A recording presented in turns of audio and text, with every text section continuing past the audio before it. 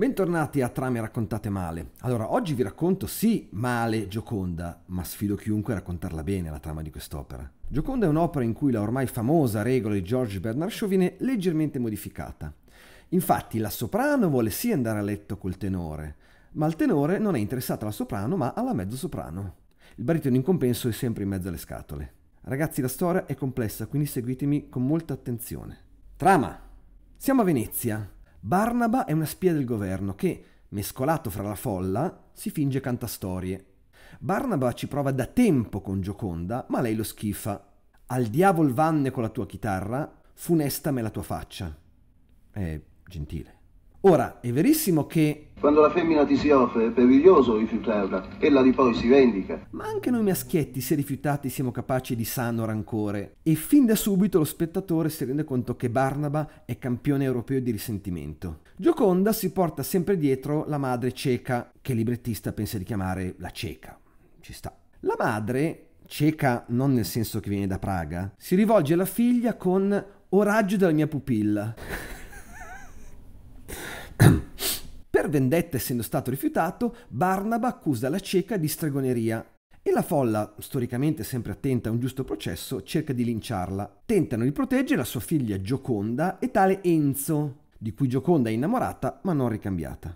Entrano in scena Alvise, un importante nobile veneziano, e sua moglie Laura. Laura riesce a placare la folla e la cieca, per riconoscenza, le dona un rosario che dovrebbe propiziarle buona fortuna. Laura, ancorché appunto sposata con Alvise, è in realtà innamorata di Enzo e ha programmato di fuggire con lui quella notte stessa. Non essendo riuscito il linciaggio della non vedente, Barnaba prova un piano B e applica una variante della proprietà transitiva. Io amo Gioconda, Gioconda non mi ama, ma Gioconda ama Enzo. Se Enzo scappa con Laura, Gioconda ne starà oltremodo scontenta. Sì, funziona. Dice quindi a Enzo che quella sera stessa gli porterà Laura in modo che possano fuggire insieme. Attenzione a un passaggio. Enzo e Barnaba sono nemici politici e Barnaba potrebbe tranquillamente farlo giustiziare, che come vendetta nei confronti di Gioconda non sarebbe male. E tuttavia pensa che per Gioconda sarà molto più doloroso vedere l'amato che fugge con un'altra, e quindi questa soluzione è più efficace secondo lui di un martirizzante patibolo. Promette quindi a Enzo aiuto per portargli Laura quella notte stessa.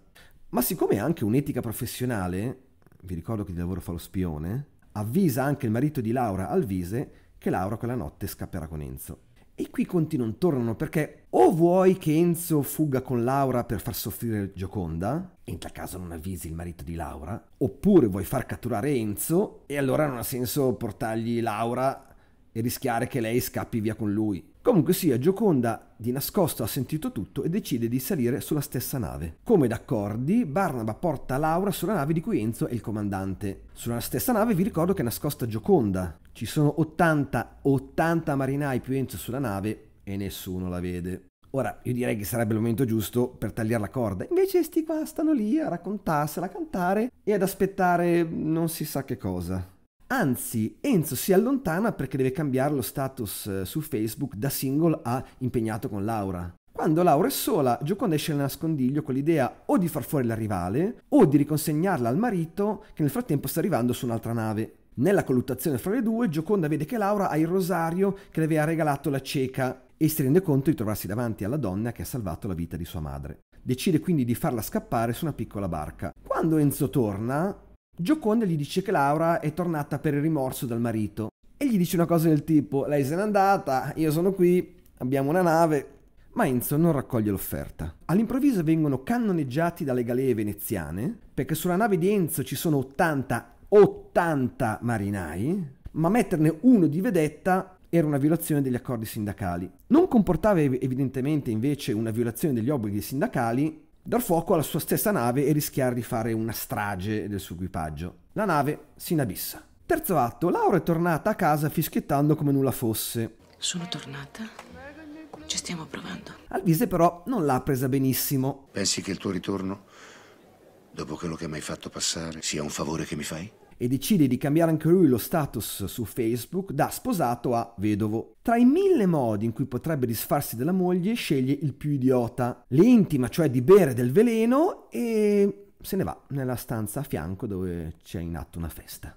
Sicuro che lei lo berrà perché si fida di sua moglie. E qui tocchiamo il punto più basso della narrazione. Nella stanza del palazzo nobiliare non solo spunta fuori dal nulla Gioconda, che non era affatto sulla lista. Non basta. Gioconda ha anche con sé un narcotico che simula la morte. D'altronde, ai tempi esattamente come oggi, era invalsa l'abitudine di andare in giro con una boccettina con un narcotico che simulasse una morte apparente, mm, just in case. E lo dà da bere a Laura. Alvise rientra, la trova morta, vede la boccettina vuota e chiosa. Tutto è compiuto, vuoto il cristal. Un genio. Durante la festa, Barnaba accusa la cieca di stregoneria. Ancora! Ma nessuno ci fa caso più di tanto. Dato che Enzo, saputo della morte di Laura, si rivela davanti a tutti e viene arrestato. Gioconda a questo punto promette il suo corpo a Barnaba se farà fuggire Enzo. Quarto atto. 18 bovine. Degli amici di Gioconda hanno trafugato il corpo di Laura ancora narcotizzato dalla cripta e meno male che non l'hanno sepolta a due metri sottoterra. Gioconda si trova quindi davanti al corpo esanime della rivale in amore e ha il forte istinto di buttarla in laguna e levarsela così dalle ovaie una volta per tutte. E allora cosa l'hai salvata a fare? Potevi lasciarla tranquillamente avvelenare da quell'idiota del marito, no? Arriva Enzo fatto fuggire da Barnaba, perché Barnaba è sì il cattivo della storia, ma se gli promettono un corpo eh, sa mantenere la parola data.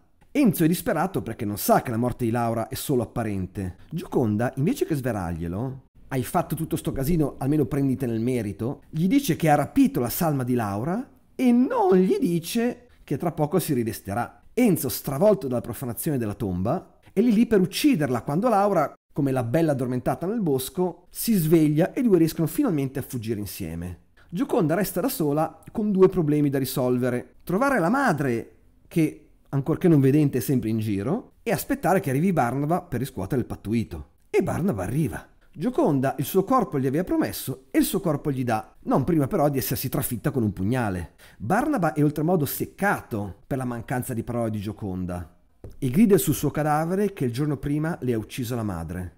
Ecco perché non si riusciva a trovarla. Dopodiché va su Facebook a cambiare il suo status da libero a libero e disilluso dalle donne. Iscrivetevi al canale e attivate la campanella, altrimenti la vostra metà vi intimerà di bere del veleno e poi se ne andrà nella stanza a fianco. Ci vediamo alla prossima trama raccontata male.